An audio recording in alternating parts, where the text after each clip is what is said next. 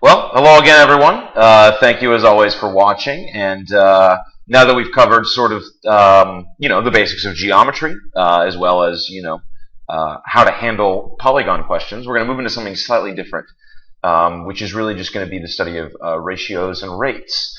Um, now, uh, a ratio, first of all, um, is really just how much of something there is relative to something else. you might see it written in a number of ways. Um, oftentimes, it'll simply be written as um, A to B like this using a colon, or uh, they might actually write out uh, the ratio of A to B, where of course A and B are really just, uh, you know, we need two numbers. Um, or um, perhaps most commonly, um, perhaps following the colon method, uh, would be just write it as a fraction, A over B because it's uh, important to remember that really a ratio is nothing more than a fraction, uh, something set relative to something else. Now, uh, a ratio can always be found whenever you're given two values of something. So say you know that a basket of fruit has, uh, you know, 10 apples, right, um, and 15 oranges.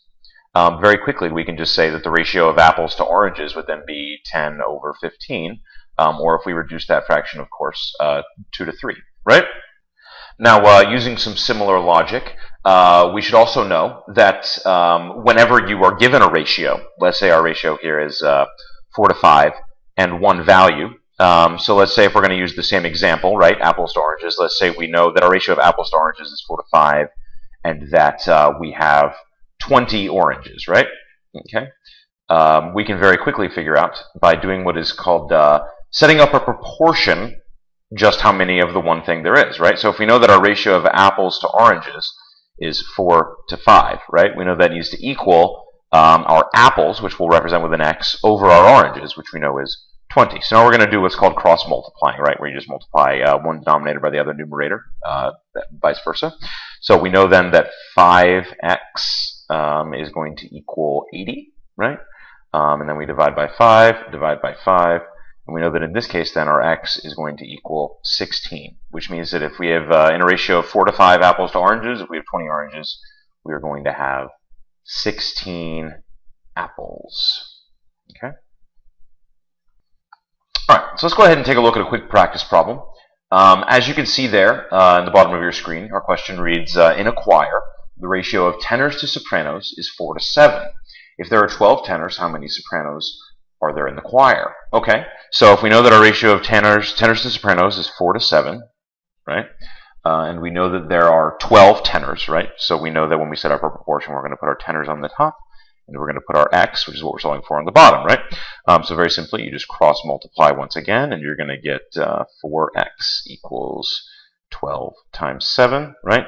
So then uh, 4x uh, will equal, if I can do some very rapid mental math, uh, 84, right? Okay, so then we divide by 4, divide by 4, and we know that we are going to have then, um, given, given this ratio, if there are 12 tenors, we're going to have 21 sopranos, right? It's not so difficult. Everybody got it? Okie dokie. Okay, so moving back to our general discussion of uh, ratio rules, a uh, quick important thing to, to, to, cover is that if you're just given a simple ratio, so remember we had our, say our ratio of uh, apples to oranges, 4 to 5, right? We can't figure anything out about the number of apples and oranges in this basket except some possibilities, right? So just given a simple ratio, you can't find any values, right? We can only find potential values. So it's quite possible that there are four apples and five oranges, or that there are eight apples and ten oranges, or that there are 12 apples and 15 oranges, right? Um, but there is no no possible way we can find any definite value given only a ratio. All right, so let's take a quick look at uh, how we might go about combining ratios, right? So that's when you're finding a ratio between three things instead of two things from the ratio between two different things. So let's say we're trying to find the ratio of x to y to z, right? Okay, and we know that our ratio of x to y is 1 to 2, right? And that our ratio of y to z excuse me, y to z is uh, 3 to 4, right? So basically to do this, we're going to, uh, we're going to basically going to do what you do when you uh, combine fractions, right? You're going to need to find a common term between our y's because our y's are what we share. So in a sense, we're going to be finding a common term between uh, the denominator of one fraction and the numerator of the other. Uh, let me show. Let me demonstrate more fully what I mean. So if we have uh, one over two uh, as one of our ratios and three over 4 as the other, we need this 2 and this 3 to match up because we know, right, that those both represent our y's. So if we can find common y's, we can then find the ratio of x to z, or the ratio of x to y to z, right? So the least common denominator between 2 and 3 is, of course, 6. So we can then change these fractions into uh, 3 over 6, right, by multiplying it by 3 over 3. Um, and uh, our latter will become then, of course, 6 over 8, right? So then we can find our ratio of x to z with our common y of 6 as being uh, 3 to 8, right? So x to z um, equals 3 to 8, right? So if we're looking ultimately for a ratio of x to y to z, we know then that that uh, three-part ratio is going to be 3 to 6 to 8. Okay? Okay, so let's take a look at this uh, practice problem at the bottom of the screen right there. Um, after spending 5 eighths of the money in her bank account, Sandra has $75 left. How much money did she have in her bank account before she started spending? So now, uh, basically, we're just going to set a proportion, just like we did a minute ago, right? Um, there is a little trick in this question, though, right? So we know that she has $75 left in her bank account and that she spent 5 eighths of the original money in it, right? So, uh, quick thing you need to catch here is that the proportion we're going to be setting up is ultimately going to be using 3 eighths, because that is the amount of money left in her bank account, right? So if 3 eighths of her original amount equals 75 over her original total, which will be x, of course, right? Uh, we're then going to be able to cross multiply again, of course, right? And we're going to come out with 3x equals $600, right? Okay, so if uh, 3x equals 600, we just divide both sides by 3, divide both sides by 3, and very logically, we're going to find out that our x is equal to 200. So Sandra had $200 in her bank account to begin with. All right, so those are uh, ratios. Okay, and now that we've covered ratios, uh, we can move into rates, which are really nothing more than ratios with a denominator of time. Right, so instead of finding the ratio of, say, apples to oranges, we'll be finding the rate of, uh, you know, miles per hour, whatever it may be, right? Okay, so go ahead and take a look at that question at the bottom of your screen. Uh, printer can print 5,040 pages in one hour. At this rate, how many minutes will it take this printer to produce 756 pages?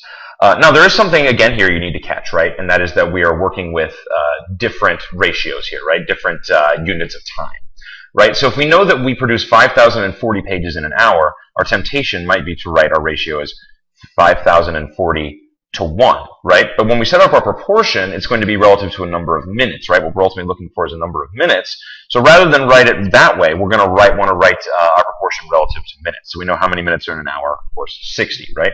So we can then create our proportion as 5,040 over 60, right?